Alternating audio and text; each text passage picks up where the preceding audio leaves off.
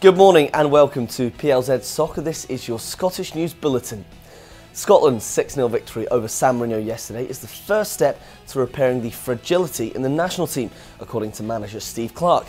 John McGinn was the hat trick hero as the Scots ran out easy winners at a sodden Hampden Park, with the result putting them up to fourth in the group and putting smiles back on some fans' faces. Clarke himself was pleased with the result.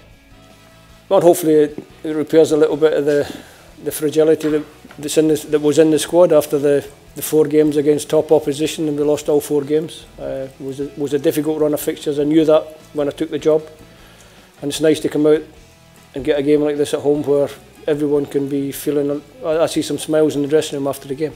The under 21s are in action this evening. They visit the Czech Republic.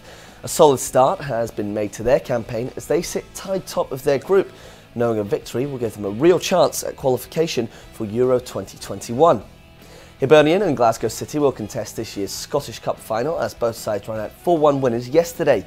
Rangers and Motherwell were the two losing semi-finalists and the cup final, which will be played at Tynecastle, will see the three in a row holders Hibs take on 12 in a row league winners City. So who'll win that one? And Ross Wilson is set to leave his role at Southampton and become Rangers' new Director of Football. Wilson would replace Mark Allen, who announced in September that he was leaving Ibrox for family reasons. Let's have a quick look over the papers. The record right McGrin bonus. The Sun also picture star man McGinn. And the Daily Mail focus on Scotland's Rugby World Cup exit.